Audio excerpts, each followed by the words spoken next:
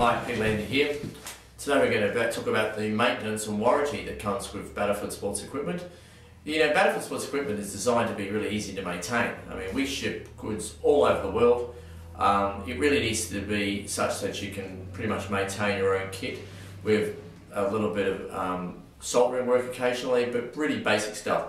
Main thing, look, anytime you want to repair it, main thing's have plenty of spare parts on hand. So, you know, we always recommend you get at least one complete comprehensive spares kit for every 10 gaming guns that you purchase. If you've got the part on hand, it's pretty easy. All right. The only, only thing I would say, look, before you replace a main board, if it's maybe it's burnt out in the unlikely event that's happened, check your battery first. If it looks like the sign of a short in the battery, you might want to change the battery before you change the board because it can be the battery's fault.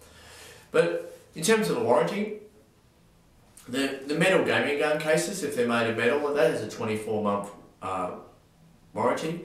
The polycarbonate model, like the Cobra, that has a six month warranty. Uh, generally, electronic parts, a six month warranty.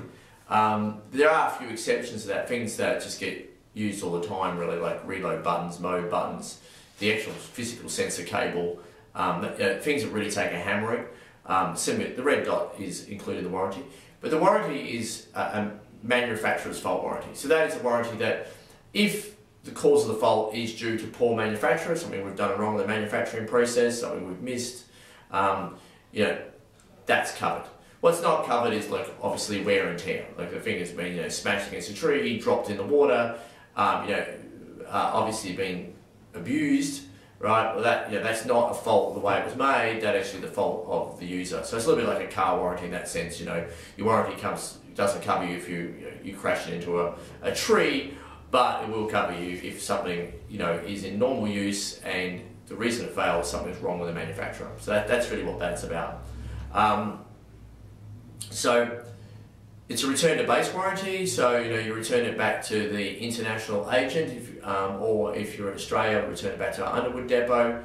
Um, you, know, you, you, ship it back here, we ship it back to you.